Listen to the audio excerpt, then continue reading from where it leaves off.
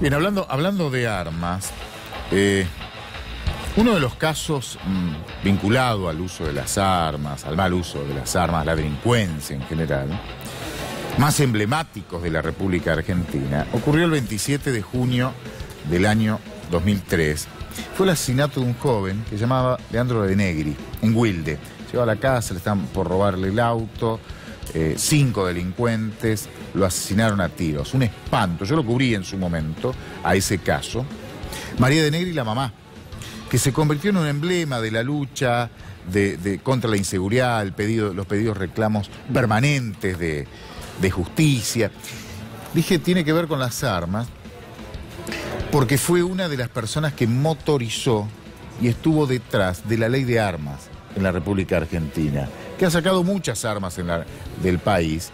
Eh, falta todo así, falta mucho, pero es ella la que estuvo detrás. Esto, cuento esto porque se ha hecho un documental para la televisión de Estados Unidos que eh, conduce la periodista, conductora, presentadora Natalia De Negri, que hace 10 años tiene un programa, ya le voy a contar un poco sobre el programa de, Natalia en los Estados Unidos.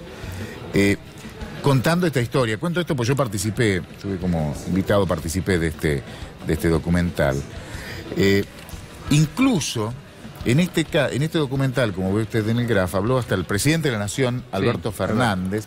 Eh, recuerde, el año 2003, en esa época también Felipe Solá participó de este documental.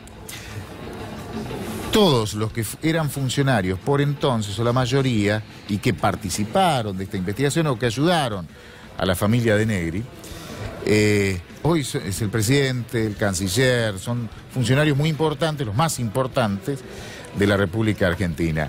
Natalia de Negri, que tiene el mismo apellido, ¿no? pero no, no, no son familiares con, María de Negri, eh, hizo este documental, como tantos otros que presenta en los Estados Unidos. Ya tiene, Natalia tiene siete Grammys. Emmys, perdón, Emmys. Es como el Martín Fierro de la televisión de Estados Unidos. Tiene siete, un montonazo, un montonazo. Un anticipo del documental. Habla el presidente. a ver, ¿eh? vemos.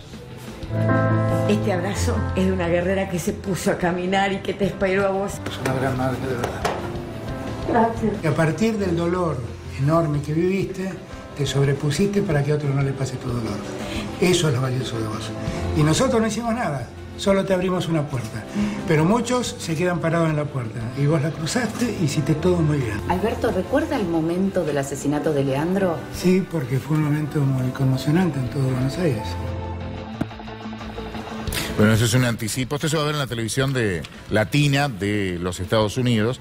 Natalia de Negri conduce de hace 10 años un programa que se llama Corazones Guerreros en en una de las cadenas más importantes de, los Estados Unidos, ha tenido muchos éxitos. De hecho, ha recibido siete Emmy, que son siete Martín Fierros de la televisión americana. Algún día tendremos algunos otros. algún día. Eh, y es un muy buen documental, una muy buena historia. El próximo que creo que es sobre, creo no, lo sé, es sobre las madres de Plaza de Mayo. Mm. Eh, y lo vamos, lo vamos a estar viendo seguramente. Y esto se estrena en los próximos días, entre otros eh, da su testimonio, que lo veíamos recién, el presidente de la Nación. Gracias, Paulo. Muchísimas gracias. Tuli. Vamos a hablar un poco